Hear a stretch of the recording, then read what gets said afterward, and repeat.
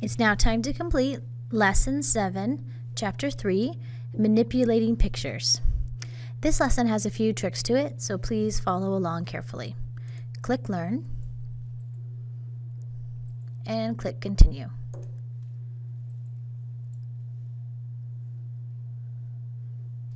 With the Experiencing Antarctica document open, ensure the cursor is at the beginning of the heading Experiencing Antarctica. Let's make sure our cursor is blinking at the beginning of the heading. Click the Insert tab, and in the Illustrations group, click Online Pictures. Here's the Insert tab, Online Pictures. Type Antarctica.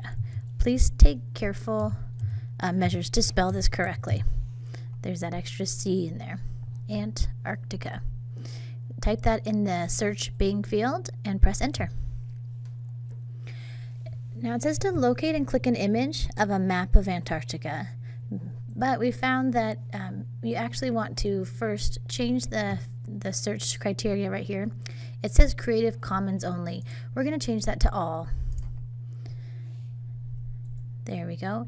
And now we're going to click on I recommend clicking on this, an image that looks kind of like this first one, this map of Antarctica with a, a blue circle around it. Uh, so click the image and click Insert. Uh, making that small change allows us to have just an image.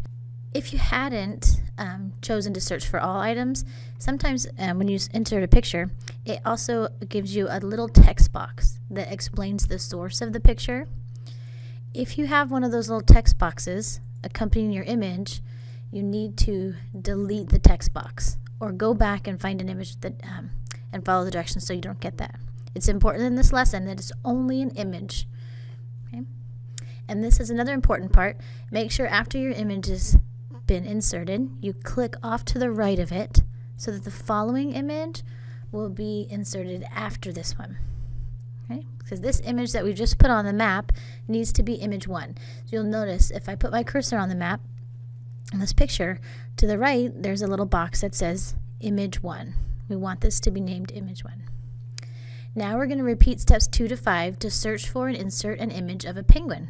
So we'll go back up to two, click on the insert tab, click on online pictures, type in penguin, press enter, and again, I recommend you change the search criteria here from Creative Commons only to all. And I'm going to select this penguin, I think. He looks pretty cute. I'm going to click Insert. Here we go. And again, if you'll notice, there's no extra text box that was pasted with this picture. Okay, you have to make sure that this is an image. Now, if I put my cursor on the screen, you'll notice it's labeled with image 2. That's what you want. And another important thing is once your penguin image is loaded, you want to click off to the right of the picture. Now we're going to go back again to the Insert tab, but this time just choose Pictures and navigate to the Resource Files folder. So I'm going to go to Documents, Jasper Active, Resource Files, and find the iceberg. And it tells us to double click to insert this image. So now we have three images two online images, and one image inserted from a file. Mark as answered and click Next. Click on the penguin picture and drag it down to the beginning of the wildlife tour bullet point. So let's just scroll down before we uh, drag it and find wildlife tour. Here's this bullet point down here. So we're going to click on our penguin picture and drag it down And you'll notice our cursor turns into a, a vertical line so we can see where we're placing it. We want it just in front of the W. Now it looks a little glitchy that that vertical line disappears, but if you put your cursor in the right spot and release it, it'll go right in front. Mark as answered and click Next. Point at one of the corner handles of the penguin picture. So these little white circles are called handles, and Jasper Active is asking us to choose a corner. When you um, click on a corner and you hold the shift key, it keeps the same ratio. So hold down the shift while you click and drag on a corner handle. And click and drag until it's approximately two inches high. So I'm kind of looking at the ruler on the left side of my screen. And when I look across at that ruler, it looks like it's from the three to the five and a half. So that's about two and a half inches. So let's make it a little smaller. There we go. It looks like it's from the three to the five. So that's approximately two inches in height. With the penguin picture still selected, click the layout options button. And the layout options button is this little one that looks like a rainbow. We sometimes call it text wrapping rainbow, but its official name is layout options. And then choose the option titled square. And that's this one right here. Remember, if you put your cursor over each of the items, it will tell you the name of it. And we want square.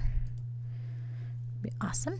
And now we're going to drag the pink penguin picture to the right side of the bullet point. Here we go. That square option allows the text to go around it really nicely. Mark as answered and click Next. Return to the top of the document and select the map image. Point at one of the corner handles, press the Shift key, and then drag inwards until the picture is approximately one and a half inches in height. So this one's going to be a little smaller than the last. All right, so I'm looking at the side ruler here, and it's between a half of an inch and two and a half. So that's about two inches. So let's make it a little smaller. Also, in the upper right-hand corner on the Format tab, it tells me the height, so I can tell if I'm getting close. Right now it says I'm at 1.1 and 34 hundredths of an inch, so I could spare to make it a tiny bit bigger. There we go. That's close enough. With the map image still selected, we're going to change the text wrap option to square. So click on the layout options box and change it to square, just like with the penguin. And we're going to drag the picture to the right side of the opening paragraph. The opening paragraph is experiencing Antarctica, so we're going to drag it to the right side. Next, click on the iceberg image and drag it to the first blank line at the end of the document. So I'm going to click and drag it to the first blank line. So I'm looking for that vertical cursor. There we go. Now it's at the end. Resize this image to approximately two inches. Right now it's two and a quarter inches, so let's just make it a little bit smaller. And I'm holding down the shift key while I'm doing that and then it asks us to center the image. So on the Home tab, we're going to click the Center Align button. There we go. Mark as answered and click Next.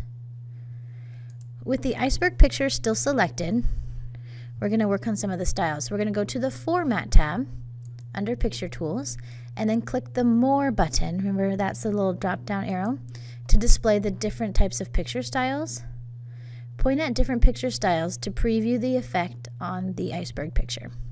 And then choose the rounded, reflected rounded rectangle. Okay, this one up here. Remember, if you pause and put your mouse on it, it will tell you the, the title of that style. You want reflected rounded rectangle.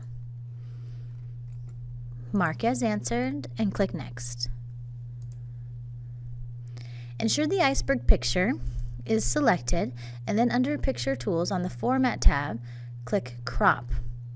I'm just going to click on the crop button. I'm not going to click on the drop down arrow. Click on crop. Click the middle handle on the bottom of the picture. So this time the handles are these little black lines and we want to find the middle handle on the bottom of the picture and drag it upward approximately half of an inch to reduce the amount of sea in the image. So if I look at my ruler on the left here, the bottom is at approximately at the 8, so I'm going to bring it up to 7.5. There we go. And it says to repeat for the right side of the image. So here's the right side of the image. We're going to pick the middle handle. Right now, it looks like it's at 4 and 3 quarters, so let's drag it a half an inch to about 4 and 1 quarter. So the picture has been reduced, similar to using scissors to trim a photograph. However, Word also provides you with the option to reposition the picture within the cropped area.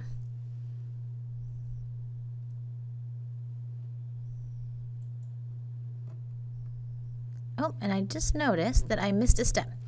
Um, it looks like I missed this part here. I need to click the middle handle on the left side.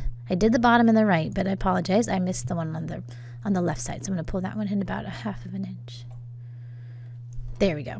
Okay, got to make sure I don't miss anything with Jasper Active. All right, so we're going to click anywhere within the cropped area, and we're going to click and drag the image down. So when I drag it down, you'll notice there's this white area at the top. And that if when you release the click, it will set the picture in this location. And then click anywhere outside of the picture to turn off the crop. You'll notice that the top of the picture is blank. So this is an example of how you can manipulate the picture, but you should also be aware of what the final effect may be once you release the mouse.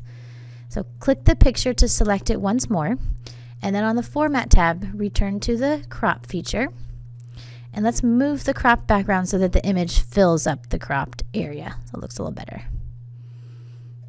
There we go. And this time we're going to click the crop button to turn it off. There we go. Mark as answered and click next. Select the map picture, the first image, and on the Format tab, in the Adjust group, you're going to click on Corrections. So the Adjust group is on the left. Here is Corrections. Point at some of the different options so you can see how Word can help adjust the brightness or clarity of the picture. Then click on the option Brightness plus 20%, Contrast minus 40%. So I'm going to move my mouse around until I find Brightness plus 20%, Contrast negative 40%. And here it is. Click on it to apply it to the picture. You'll notice it changes it a bit. Mark as answered and click Next. Ensure that the first image, the map image, is still selected. And now on the Format tab, in the Adjust group, we're going to click on Color. Point at some of the different options to see the effect on the picture, and then find the one titled Washout. Now, it's a little tricky because Washout, for me, shows a blank image, but if I hold my mouse there, that is the washout setting. So I'm going to click on it, even though it makes it look like you can barely see the image. Mark as answered and click Next. With the map picture still selected, we're going to go to Artistic Effects, point at the various styles, and again, this part is tricky because you can't really tell the look of the styles, but you want to find the one called Marker.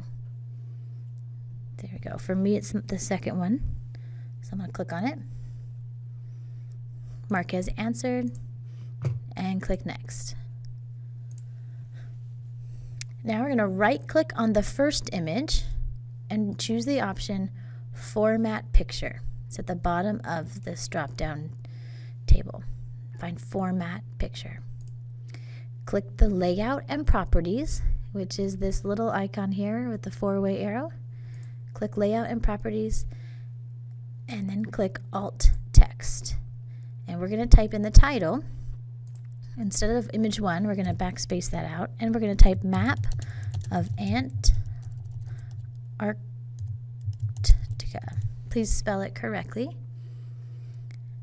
And as the description, we're going to type lowercase map of Antarctica capitalized in a neutral color. Map of Antarctica in a neutral color. Remember, you can press pause at any time to catch up on your own screen. Next, we're going to click on the penguin image, and the format picture pane is still available. We're going to change the title of this one to Penguins, and we're going to add the description, Picture of Penguins in Antarctica. And then we're going to click on the iceberg picture and change the title to Iceberg and then add the description picture of iceberg with reflection effect. Let's make sure I got my capitals, no capitals in that one. And now we're going to close the format picture pane by clicking on this little X. Mark as answered and click show results. Great. You have now completed lesson seven Chapter 3